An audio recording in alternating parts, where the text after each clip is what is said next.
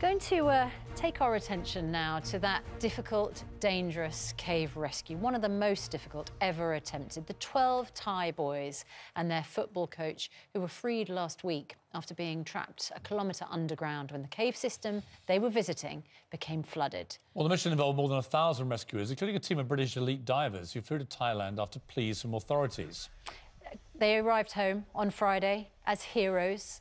Uh, and this morning we are joined by one of them, Josh Bratchley, who was uh, one of the team. 27 years old. You were out on a holiday, weren't you, Josh, when you got the call?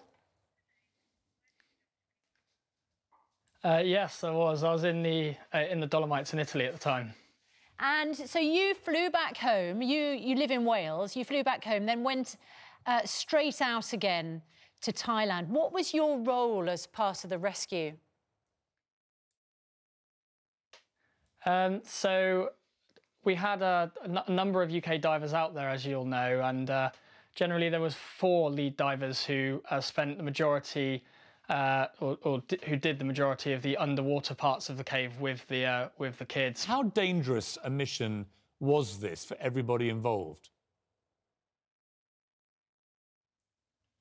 Um, so for everybody involved, I mean, it, it was dangerous. The with for a variety of reasons. I mean, the, the cave passage uh, beneath the water was um, awkward, awkward diving.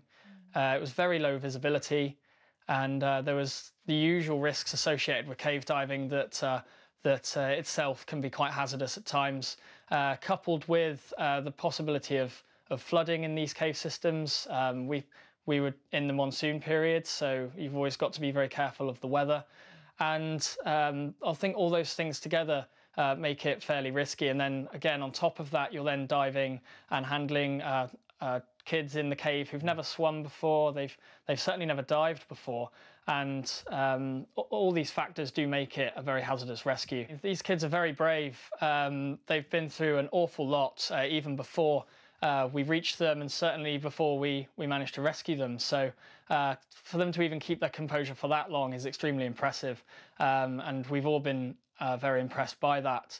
Um, as for them uh, coming out of the cave, I mean, the relief for everyone involved. Um, uh, not not least the divers, but you've also got all the surface support teams and everyone involved. There's a huge number of people involved in this operation, all working together as a team, and the relief was was massive. But uh, for some of the divers um, who were last out of the cave uh, every day, um, the the world knew the results of that day before before some of us did. Um, so myself and one of the other support divers, we were the last uh, rescue divers out of the cave each day, and actually um, it's it's highly likely that uh, we were the last to know um, how mm. well that day went. Um, so uh, the relief when we emerged as well to to find that the kids were safe was was just amazing. Well, Josh, look, you guys, a lot of people have been throwing around the word hero about our footballers uh, who did very well, but you know came fourth in a football competition.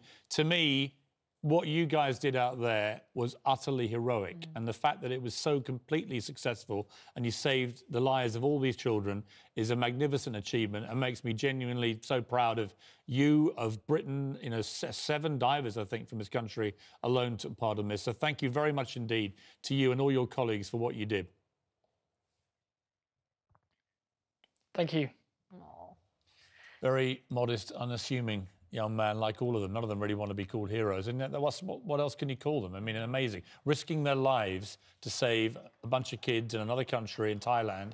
Um, but what an amazing achievement. There are the British divers who took part there.